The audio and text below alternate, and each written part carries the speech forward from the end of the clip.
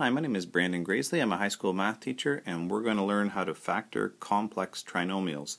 These are the ones that have something other than a 1 in front of our highest x squared term. See, there's a 4. But sometimes you'll see in an example like this, this one's actually not complex because I could factor out that 3 at the start from every term and end up with a simple trinomial over here, uh, which we, is a lot easier to deal with for most people than this complex type where we can't factor this common factor. So we're not going to work on this type today. That's from before. Go back and take another look. But this type, where we have a leading coefficient, we call it, that is not 1, uh, this is the kind that we're going to work on today. So let's back up just a little bit, though, and we're going to look at a general case which is going to help us develop a strategy for working on these. This is a little bit complicated, um, but uh, take your time and follow through this. Maybe watch this a couple of times to make sure that you understand why we do this. At the end, we're going to have a nice, tidy little procedure that you can go through, but um, this is going to show you why the procedure works, and this will help you to keep it straight in your head. And I promise you, if you understand the why, you'll do better on the how. So let's start off by writing out um, a couple of binomials that are going to give us a complex trinomial. So remember that we have um, something like this, something times x. I'm going to use capital letters, a little bit unusual, but something times x plus something else. These could be negative values also. I'm using capitals because later we're going to use lowercase letters for some important stuff and uh, I don't want you to be confused. So then we have another binomial, c times a variable plus some other value.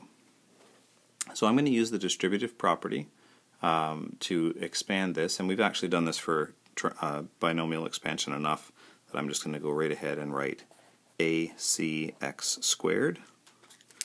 That's, oh, sorry, that's multiplying ac, sorry, ax times cx, and then I'm going to multiply ax times d, so plus ad times x. Now these are just values, right? So a times d is going to be some number plus, let's do b times cx, which is going to be bc times x. And last, b times d is bd.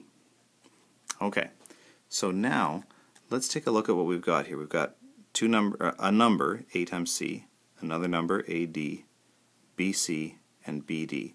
Well, this number at the end here, this one's kind of straightforward. b times d is going to be the value that's at the end, like this one here, of our trinomial. b times d. Whatever b and d are, they will multiply together to give me my constant value, uh, in this case 3.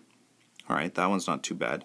a times c, those are a and c, those are going to multiply together to give me that first coefficient, the complex, the thing that makes this complex, so one of these numbers at least won't be 1. A or C or both will be something other than 1. Okay, now these middle two, these are the interesting ones. So we have a value here, and we have another value here. So we have some number and some other number that when you add them together are going to equal the middle number. So here, AD, some number, plus BC, some other number, together are going to give me that uh, coefficient for my x term, right? AD plus BC, those are the two values that add together, if I was to collect this, to give me my x term. Maybe I'll write that right out here.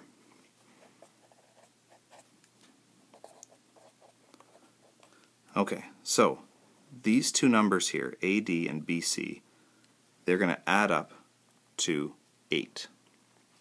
Alright, so far we know that this these two things will add up to 8. We know something really uh, interesting as well. If I were to multiply these two numbers, a times d times b times c, well, a times d times b times c, I'm going to rewrite that or reorder that as a, b, c, d. a times b times c times d. Four things multiplied together.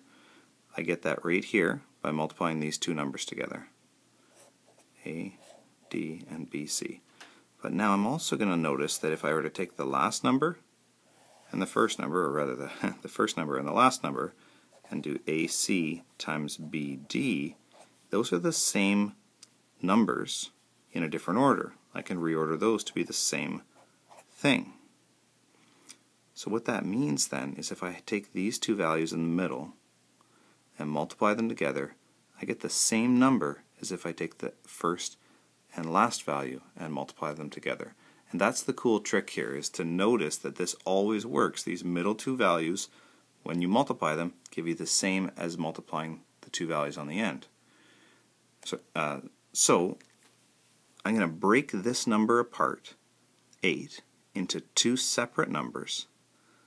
They'll add up to 8, but the two numbers will multiply together to give me 12, the same thing as multiplying these two things together. So I'm going to write all that down right now. So the two numbers, so we're looking for looking for two numbers that do these two things. Number one, they add up to the, I'm going to call it the middle coefficient. That is the, when you sort these out in order, it'll be the one that's in the middle if you have an x squared, an x, and a constant term. So those two numbers are going to add up to the middle coefficient and they will multiply to, let's be careful here, to the product of the first and last coefficients.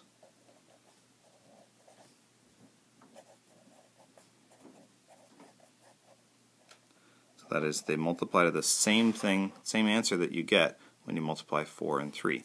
Okay, so let me rewrite that specific question and we'll finish it off down here. 4x squared plus 8x plus 3. So we're not quite done here yet and how to, how to finish with all this.